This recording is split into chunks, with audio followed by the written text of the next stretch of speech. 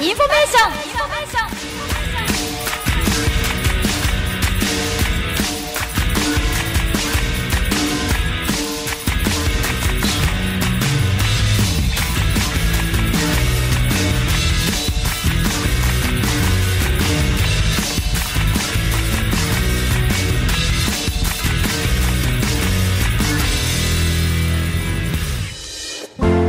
さてパルインフォメーションの時間です。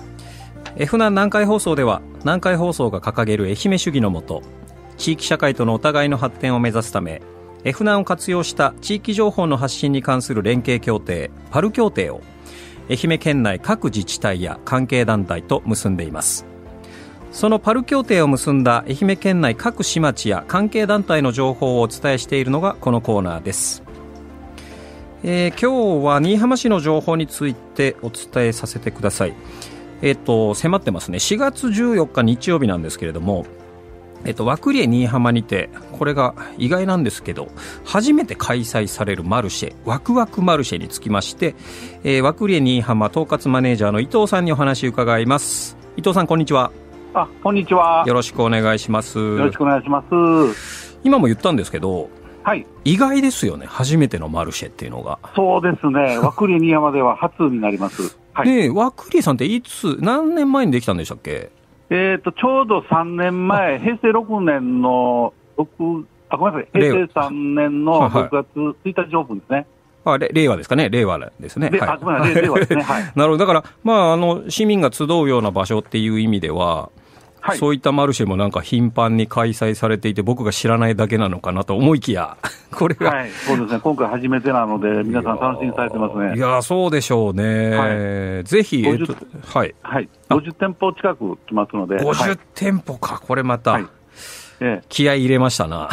え、そうですね。あのーアーティストの、えーと、西島一生さんも来られて、はいはいはい。あの体育館で1時からライブドローイングやっていただきますし、ああ、そうはいなんですね。盛りだくさんにややります。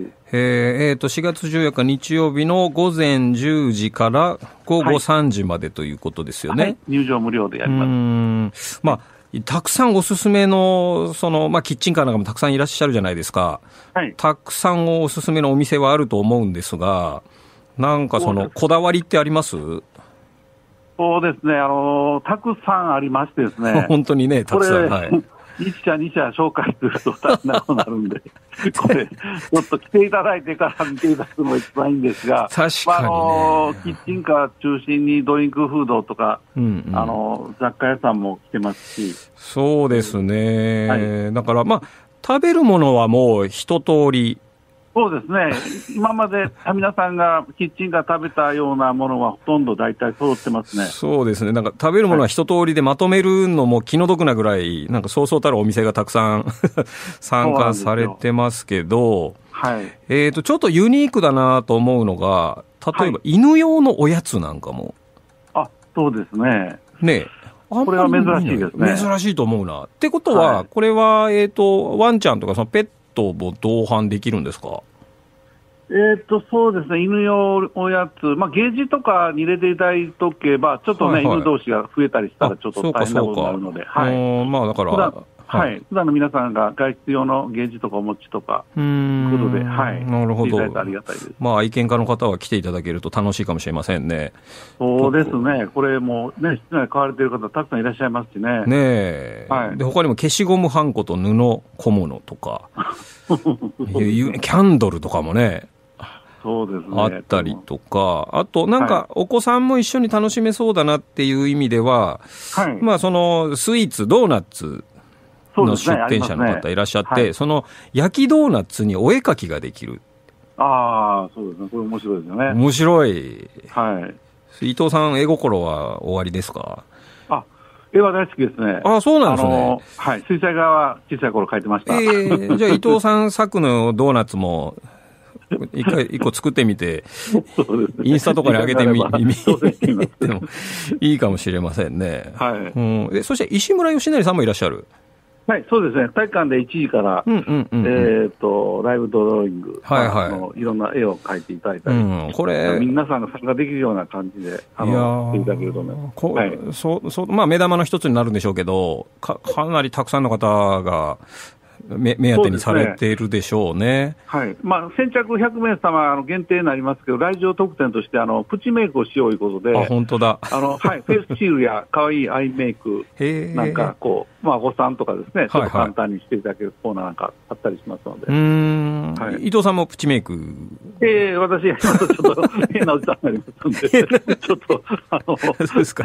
個室で、一人でやるぐらいですけど。えー、これは、はいえっ、と、ワクワクマルシェは、今後も定期的には開催していく予定なんですか？あ一応、今後予定では、あのえー、と毎月第一日曜日予定にしてまして次の、はい、5月の、えー、と第一日曜日っていう5月4日ですよね。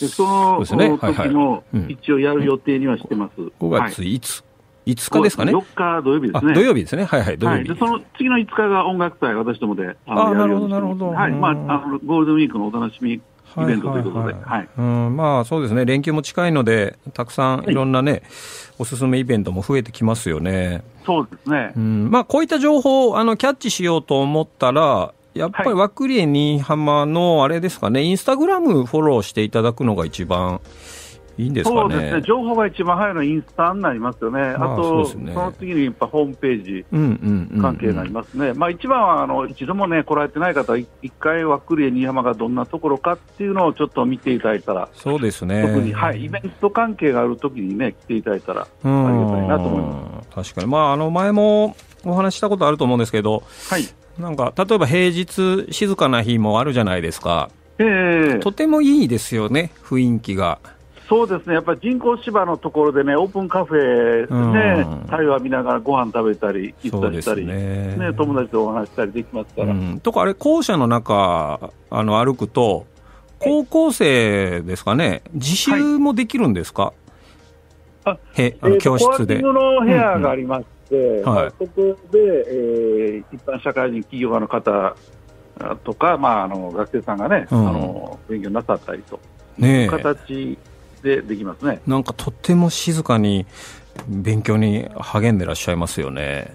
そうですね、あのうん。まあ、受験シーズン、今終わって、ちょっとだいぶ皆さん、進学されてはいはい。いましたけど、ああ、そうですか。えー12月、1月あたりはね、ちょっと混み合ってましたけどね。ああ、やっぱり。はいだからなんか僕も、あの、楽器の練習するのにね、心なしか、あそこまで音が届いちゃったらどうしようと思って、その、と、とんでもない不協和音が、ね届かない。ますと大丈夫だと思います。まあ、吹き出したらそんなことも忘れずに、ね、忘れて、ええあの、楽しめる空間でもあるんですけどね。ありがとうございます。はい。まあ、はいあの、ホームページだったりとかね、先ほどもはお話ありました、インスタグラムもぜひ一度見ていただければ、はい、はいそうですね。旧若宮小学校ですので、はい、そうです。はい。ぜひ一度訪れてみてください。はい、お願いします。では4月14日、ワクワクマルシェ楽しみにしておりますので、よろしくお願いしはます。申し上げております。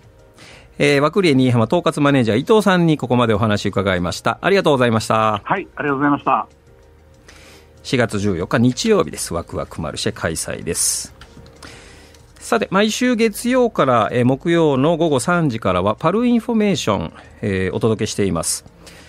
このコーナーはポッドキャストで配信しています。南海放送ホームページのラジオ、また南海放送アプリの見る、聞く、さらに南海放送公式 YouTube チャンネルから、また、Apple、Spotify、Amazon、Google、ラジコのポッドキャストサービスからお聞きいただけます。番組終了後1時間程度で当日の放送が聞けるようになりますので、えーぜひそちらでもお楽しみください。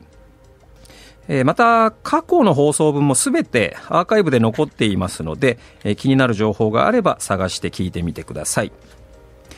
えー明日も、えーこのコーナーをお届けしますので、お楽しみに。パルインフォメーションでした。